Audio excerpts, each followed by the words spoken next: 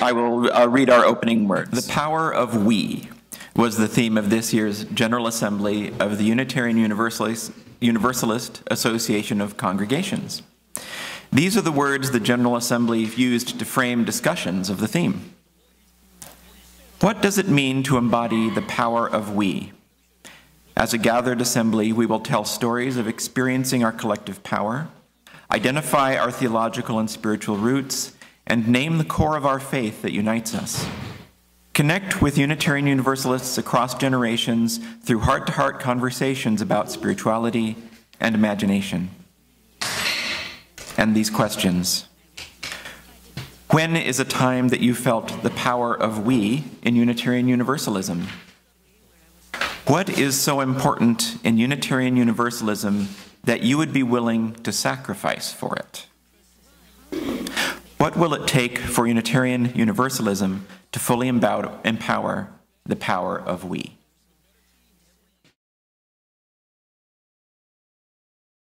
Taking a little different approach here.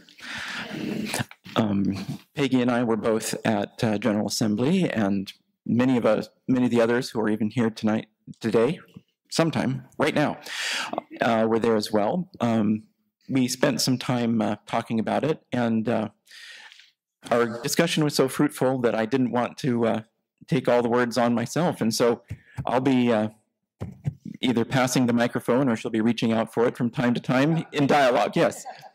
So. I uh, myself have spent the last few weeks embedded in our wider faith, and uh, you're actually getting a twofer. Um, a few days after General Assembly, I went off to uh, Camp Sid Sen up on the uh, eastern shore of uh, Lake Coeur d'Alene, where the Pacific Northwest District had their first ever high school summer camp, where I was part of the leadership team, to my great joy. Um, and uh, the things I experienced in both places uh, have led me to many thoughts about the ongoing evolution in our faith. So, the big take homes for me in all of that. I was thinking about the core of our covenant, and I mean, the core of our faith, and I believe, I've come to the belief at this moment that the core is the very idea of covenant. I'll talk more. I think the mission of our faith is to find the balance between the universal and the particular, a way of being a greater we which affirms us at every level of our identity and beliefs. There are things which have and always will make this tradition, Unitarian Universalism, what it is. At the same time, we will inevitably evolve as our knowledge and our understanding evolve. If we fully commit ourselves to a covenantal faith, which preaches the inherent worth and dignity of every person, then we are committing ourselves to a faith that will and must change with every person who enters or leaves. And finally, the we does not end at the edge of our faith. This is both our spiritual home and our test lab, where we can bravely discover by lear- learning and doing what we need to do in the greater world. Now, I spent most of my time at General Assembly, at the worships, in the youth spaces, connecting with my people, especially the people who entered seminary somewhere or other around the same time that I did. And I had the most fun with the people who dropped out, like I did. Um, and, um, well, what spaces did you spend time in? I, I went to a number of um, different sessions. They have all different kinds of sessions. Um, some were wonderful. Some were kind of like, you know, you go to a session at a conference and it, uh, I, I, feel like the faith could do a little better with its presentation, like Ixnay on the hour point how would you say PowerPoint in Pig Latin? Anyway, yeah, yeah. Forget about those. They do not work. They don't work in UU either. But uh, there were some like that. But the other thing I did is I attended, and I and along with some others, um, some of the meetings, some of the, the the business meeting that we went with our cards to serve as delegates and to vote, and um, they were um, about the messiest thing that um, that happened there. They well, and there and there were some messy things, but boy, that was. But it it it was actually um, it actually ended up um, being among the most reinforcing things in terms of where our faith is, and really that it's a point of faith. Shall I explain? So we have new moderators. We have two new co-moderators, and uh, they are younger and inexperienced. And at the same time, we have these moderators. We the the the the faith has decided to alter its rules of uh, how it operates. So it's got some Robert's Rules of Orders, but some not. So it's like a hybrid. And uh, and then there's always people who are UUs who really want to be heard a lot. And when you combine that, it was a very, there was a lot of friction and a lot of tension during the first session um, because the, the moderators did not have good control. It was their first time, for goodness sake. It reminded me of being like the ninth grade class president it was not pretty. I literally, I, I was, I was right back there. I felt just like that woman who was up on the stage because she didn't have control of the audience. There were people looking at her like, "Why don't you have control?" There was also very much a race dynamic and a class dynamic because both of these people were. Uh, she was she was a black woman, and I I I can't, I don't think the other person was a person of color. But anyway, they were new. They were new to the faith. They were new voices in the faith they needed some space and some grace, and there were people in the audience who were not giving it to them. So that was a tense morning. It was really not fun. By the next session, they they had gotten more control and more adept and they brought in some other people to help them navigate and most of the people present um, you know were better too so like i say that was that was one of those into the fire moments but really really one of the best illustrations of what we're trying to do here. And so this doesn't just become a you know a uh, end of the summer you know school report. This is what I did this summer. Um, the the thing that I see in that is you know partly an evolution of who you know inevitably is in the leadership, um, but a you know a gracefulness that is evolving and learning to lean into the discomfort that is evolving. Um, compared to past General Assemblies I've been at, you know, the amount of hours devoted to where every single delegate from every single congregation is expected to be on the floor listening to people first at the the in favor mic and then the opposed mic and then the the procedural mic which sometimes takes more airtime than either of the other mics, um, there's a lot less time. There's more time devoted to faith, and so I think we're we're evolving our um, we're evolving our priorities. Um, I was thinking about contrasts with other general assemblies that we've been at. Um, there was. Why don't you talk just a sentence or two about the the Portland in 2007, the first one that you went to? It's hard to remember. The main thing I remember going to Portland in 2007 was JD because he was my buddy and we actually shared a room and that was the really a huge part of my experience was kind of babysitting JD for for good or ill. But um, it was it was still a wonderful experience. It exposed me to some of the wonderful things about the faith. But I got to tell you, it was um, white and old. Uh, and uh, it felt like a convention that had been going on for years, and there were a lot of people there who'd been there for years and years, and it felt like just kind of coming in on that party. So that was kind of my impression of that first one I went to. And then um, the next one, I believe that you went to, and that I also went to, along with um, our oldest child, Carl, was um, in Phoenix in 2012, which we called Justice General Assembly. And that, I think, marked a turning point for our annual gatherings. And it contrasted with what she described in that there was actually pressure to move it to a different locale before it started because of some racist happenings in the city of Phoenix and in, uh, like um, Sheriff Joe Arpaio and his um, concentration camp for um, uh, undocumented immigrants.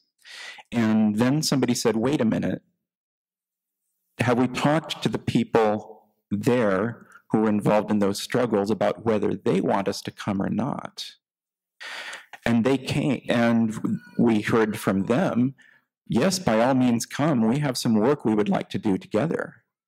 And this was the first time that General Assembly, I believe, had really focused on what's going on right here in this place that we're all coming together to visit. And that was a moving experience for me. Um, in a logistical miracle, they found buses that was able to transport 3,000 of us from the from the convention center to the tent city where we all protested and back, and that included people with limited mobility, all the scooters and the wheelchairs, which were then a new thing as well, was paying a lot more attention to mobility. So greater inclusiveness, greater engagement in the community.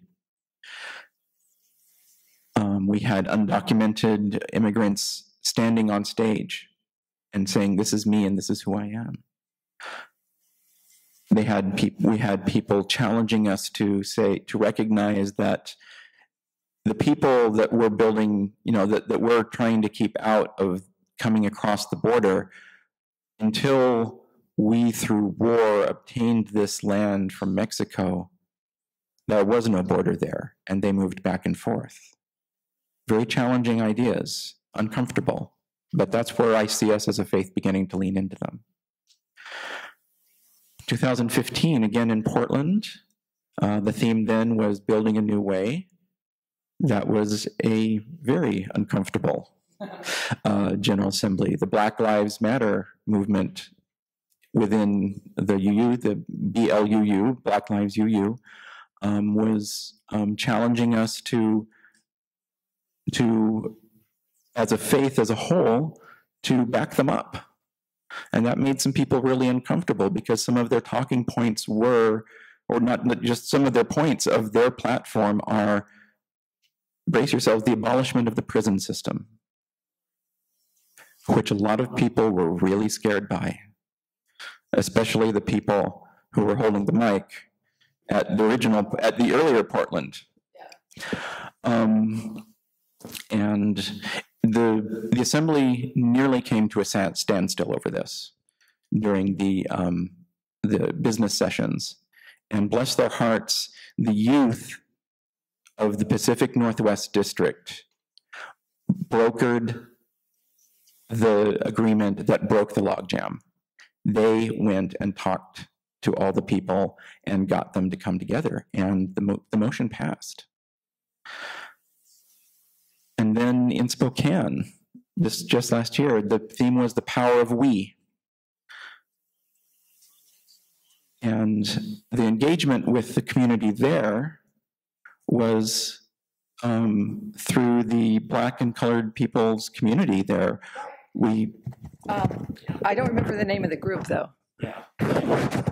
Well, and shame on us for not really understanding the role of people of color in us, which is like totally isolated total you know that's not an easy pr- way place to be a black person. And they they they do exist. They are present. So there was a an action there because there's something going on in Spokane now that they're talking about building and building new prisons building another jail. So the this community group wanted to we worked with them and did an action uh, like a like a protest uh, and um, it got press coverage, and that was nice. But the the woman who's the head of this local group, and I can't remember their name. It's actually named after a fellow who was a um, uh, or the community center they're building was named after a fellow who was a UU for it's starting in like the 30s, and I, I we got to get his name. But so they're building a big community center for people for African American people and uh, others, uh, people of color. But one of the women involved in that effort stood up in front of a group of UUs uh, and others, but mostly UUs at this conference. And she said, I have never felt so supported in this community. There, that is a story of isolation. the folks in that community and you know they're still getting jailed it's not like it's not like bad things aren't happening to uh, people of color in spokane just because there aren't that many of them they are happening it is happening and nobody's paying attention including we weren't paying attention so so in a way this was another phoenix this was another uu coming to a place and saying we have to understand we have to understand places you know we have to understand where we are and the and the things that happen in those places. So that was that was really meaningful. Another memory that's going to stick with me from this General Assembly is uh, the speaker at the Ware Lecture, which is a annual lecture at every General Assembly um, that was funded by a family that goes all the way back to the origins of Unitarianism. And it's had you know people like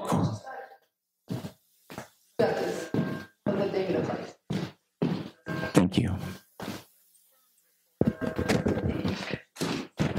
The Carl Maxey Center named after a well-known civil rights activist and Spokane native will be a hub of the African American community let's support this let's figure out how we can support this financially and whatever we have to do. This is our community, you know. And at one of the services, um, they do take they do take uh, collect um, donation. They they pass the plate at the services um, at General Assembly, and one of those was specifically for the center. And the collectively we donated tens of thousands of dollars um, to support that. Um, the Ware Lecture um, has had such people as Cornel West, as Martin Luther King, um, some of the most important voices for justice in our um, in our uh, history as a faith since the uh, merger in 1962, and before that, the Unitarian Association. The lecture this year was uh, Richard Blanco, who is a poet, a poet of three countries.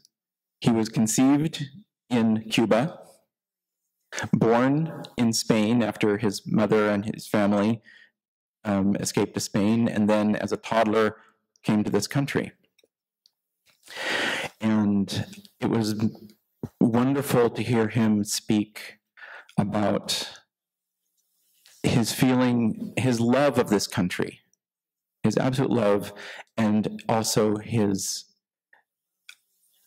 holding up of the paradox of a country that uses the word united, this is my words, the united in its name, and expects on some cultural level assimilation and uniformity, and yet also ought to be celebrating its diversity and I got in line afterwards, and I got a book. I got his latest book of poetry, and I got it signed. And what did he say to me?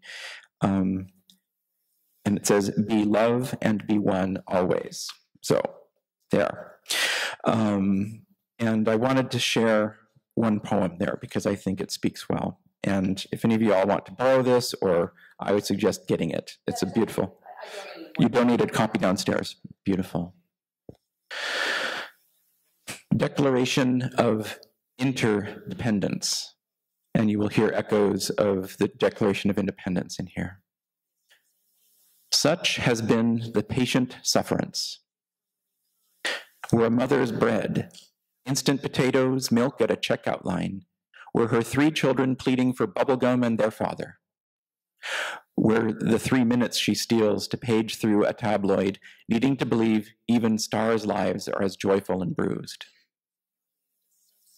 Our repeated petitions have been answered only by repeated injury.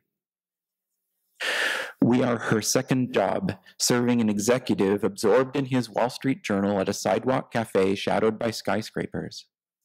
We are the shadows of the fortune he won and the family he lost. We're his loss and the lost. We're a father in a coal town who can't mine a life anymore because too much and too little has happened for too long. A history of repeated injuries and usurpations. We're the grit of his main street's blacked out windows and graffitied truths. We're a street in another town lined with royal palms, at home with a Peace Corps cu- couple who collect African art.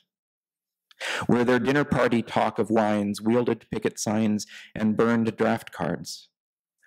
We're what they know. It's time to do more than read the New York Times, buy fair trade coffee and organic corn. In every stage of these oppressions, we have petitioned for redress. We're the farmer who grew the corn, who plows into his couch as worn as his back by the end of the day.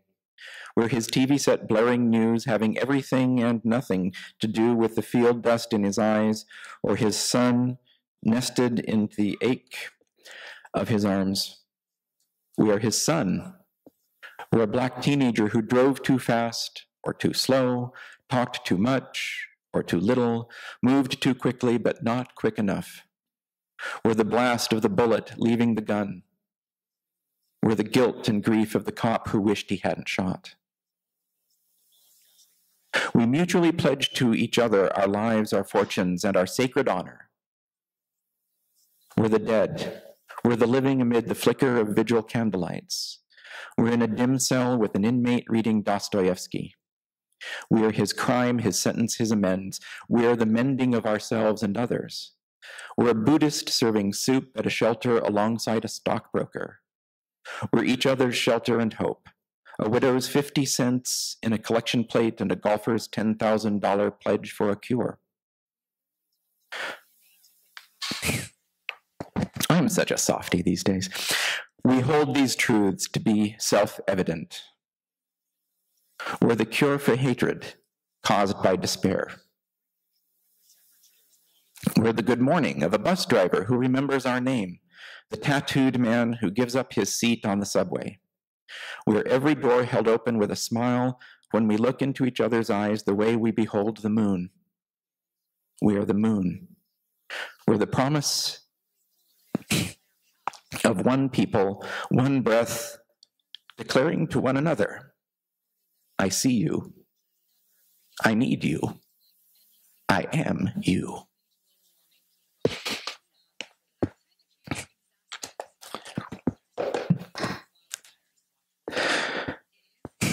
And another layer, well, I should mention of his identity and his being is that he's also gay and worked very hard with his partner of um, many years to uh, uh, fight for marriage equality. Although they only just now got engaged because neither of them, neither of them had thought to ask the other. Um, had, so, but they're engaged now. But what a joy to be a part of a faith that invites a man with words like that to both bless us and challenge us.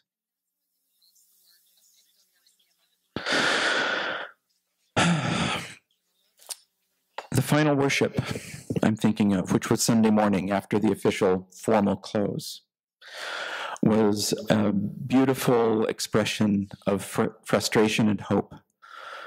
Um, the the person who gave the sermon was a clergy person, African American, and she spoke of the challenges that she faces as being a part of our faith. The words that echo in my mind were I've run out of things to say and ways to say them so that people will hear what I'm trying to say. And yet, the theologies of our faith, she said, of redemption, of universal redemption and universal worth, and of unity of all things, are what brought her here and what keep her from leaving, despite the frustrations she's had. And at the end of that, the song that we sang at the beginning, and then we'll sing again. Um, every it was a bold statement. Every person of color at the convention was invited up onto the stage. And they kept coming and coming and coming and filling the stage until there was not room anymore. And it doesn't represent the proportion of people of color in our country, but it's a lot more than there were back in Portland.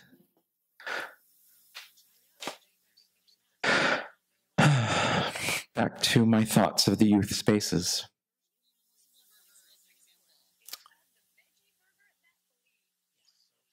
Oh, I also want to hold up the, um, actually, the youth, the, um, the bridging ceremony, just like we do bridging here at the General Assembly, the youth bridge every time. And the take home story there from that one was the idea of a brave space. The youth um, in the last few years have said, you know, it's all, not all of us shiny and happy and having had perfect middle class upbringings and graduating and going off to our Ivy League school and being happy and successful in every conventional way. Some of us are coming here with momentous griefs. And in the course of the service, they had two homilies given by youth holding up both sides of that. There's joy and fulfillment and coming of age, and there's grief. Grief for the wounds of youth, some of whom live with mighty big griefs and mighty big wounds. Um, and if you roam and look up on YouTube the various events that were have been recorded and posted up there, please watch that one. The idea of a brave space as opposed to the idea of a safe space that kind of gets a little bit of, I don't know, some people don't like the idea. Um, but the youth have reframed, have reframed the idea as a brave space. This is a space that we create together where we can, in security and love, examine our wounds and name our hurts and challenge ourselves to grow. Camp Blue Boat. This is a picture, if the if the picture of youth spaces and youth worship is anything like what I see at our youth cons and at our at our general assemblies and the youth caucus and at our camps, um, if it's a picture of what's going to be coming, then y'all better be prepared for different ways of doing worship and many other things. I've gotten so used to that space that I was uncomfortable here because they always sit in a circle. Always. The chalice is dead center. People who are speaking may walk around the chalice slowly to look at everybody. But what the youth tell me is they do it that way because it makes everybody into a participant and not into an observer or an audience. They tend not to use hymnals too much because are, where are you going to put it while you're sitting there? And so they all have these spiritual songs that they sing together and know by heart or teach each other in the course of the service. you see what I'm up to there? And um, the theme of that was the, uh, the five jagged stones. We touched on one each day. Lovely uh, um, idea that we're a work in progress. Um, you know, it's only a UU camp where one of the workshops in the afternoon one day was anti colonialism as a spiritual practice. There's more there than you might think. You giggle at first, and then you start thinking, oh. Um, we had time set aside for um, uh, gender caucusing.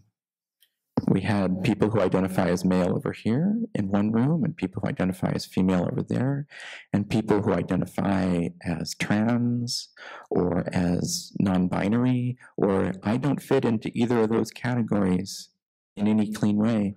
They went off to their own space and talked. And each group, we talked about what is it about being with this identity that's hard? What is it about this that might give us advantages that we might not necessarily deserve? What have we learned? What can we learn by talking about this and learning from each other rather than depending on the people who might be affected by us. And then we regathered and talked about what we had learned. And the people who identify as male had some things to say, and the people who identified as female said we had had some things to say. And then the other group, the cis, trans, non binary, I mean, the trans non binary, they said that was our space and it's holy.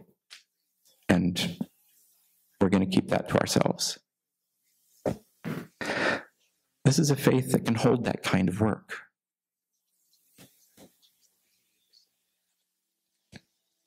My old brain has some things to get used to. For every session we did, even all the way up to the last day of the week, we would go around, even with people we've been meeting with the same little group of people all week, our little um, small groups that we have for the duration. Introduce, we would do in our check in, say your name and your pronouns. Do I go by he and she? Do I go do I go he and him? Do I go by she and her? Do I go by they and them? Nobody had anything else, but I wouldn't have been surprised. Let me tell you, this 54 year old brain has a lot of work to do to wrap its head around that, to do it without having to think every every two seconds. But I think that's the kind of work I'm glad this faith challenges me to do.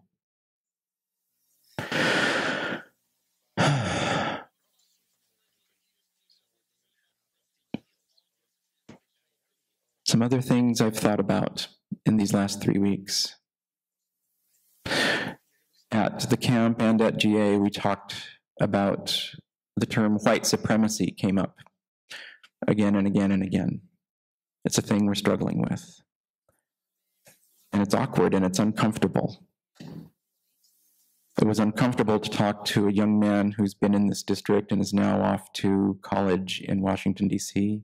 He's African American, and it was awkward and uncomfortable to be with him as he shared what Fourth of July means to him. He's got no use for it. Our country was founded. People wrung their hands and they said it wasn't a good thing. Some people did, but slavery is written right into our Constitution.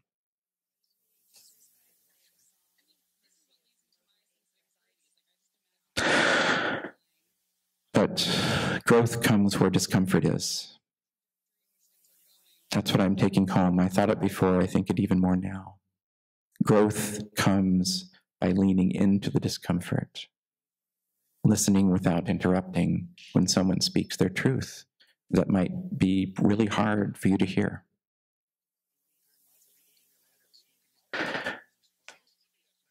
I was delighted to see the trailers for the movie about the the uh, Tulsa church. Did you want? There, so the the Tulsa UU All Souls Church is part of a movie that's coming out um, real soon. I, I, think it's just starting. It's called American Heretics. And it sounds really great. I think we should try to get it for the Kenworthy. It's going to have a showing in New York City real soon. But if you look it up, it's it's the the people at All Souls Unitarian, and then also the people I think from the UCC church in that area. But really interesting, very high production value too. But real interesting uh, movie, and I think it would be a neat one for us to bring in. So that that might be a plan. And just a little bit about that church and its history. Um, it's been there for well over a century. Um, big, beautiful, classic Unitarian Protestant edifice. Um, but they've been growing a bit in spiritual and in numerical ways. And there was a um, evangelical um, clergyman in the area uh, who had risen so far in the Baptist circles that he earned the title of bishop, Bishop Carlton Pearson. And he woke up one day and realized he was a universalist. He didn't, I'm sorry? He didn't believe in hell. Uh, about him? Yeah, there's a movie about him. There's a movie about him, but this is going to be more about him and um, the, the the newer movie. And he and his as he started preaching more and more about the idea of universal salvation, he was stripped of more and more of his power until all of a sudden he wasn't part of a church anymore. But we ain't got no creedal requirements. And he walked across the street, and a few hundred of the people who believed in what he'd been preaching followed him. And now, fast forward, there are three services every Sunday morning at All Souls in Tulsa. There's the one that's a lot like what we usually do. Down the hall, there's a slightly smaller room where the staunch humanists meet and have their their uh, good old fashioned lecture style, um, you know, science and humanities 101 seminar. And then in the third wing, there is the singing and praising and gospel of universal salvation, salvation, salvation, no, salvation, sorry about universal salvation service led by Bishop Pearson. And they're all living together under one roof and they're all learning from each other. Now, how's that as a vision of what we can be as a faith that has a universal value and a universally open covenant that's willing to be transformed by who it lets in its door by the virtue of the faith that tells them this is what we need to do.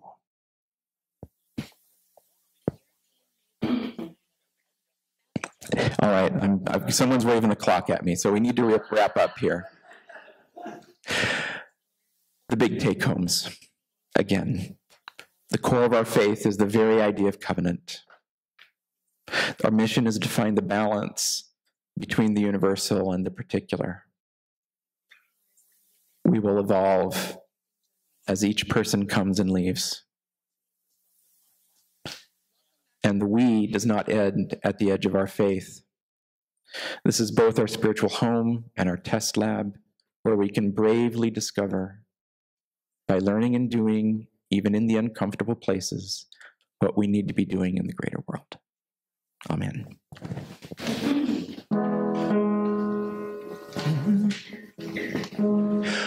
We shall be known by the company we keep, by the ones who circle round to tend these fires. We shall be known by the ones who sow and reap the seeds of change alive from deep within the earth. It is time now. It is time now that we thrive. It is time to lead ourselves into the well. It is time now, and what a time to be alive. In this great turning we shall turn to lead in love. In this great turning we shall learn to lead in love.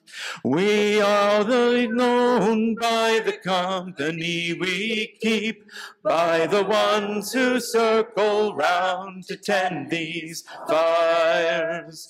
We shall be known by the ones who sow and reap the seeds of change alive from deep within. It is time now. It is time now that we thrive. It is time to lead ourselves into the well. It is time now, and what a time to be alive. In this great turning we shall turn to lead in love. In this great turning we shall learn to lead in love.